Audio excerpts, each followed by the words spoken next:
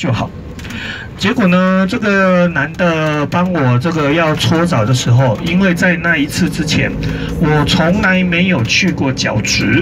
我从来没有去过角质，所以他帮我要去角质的那一瞬间，我直接问候他老母，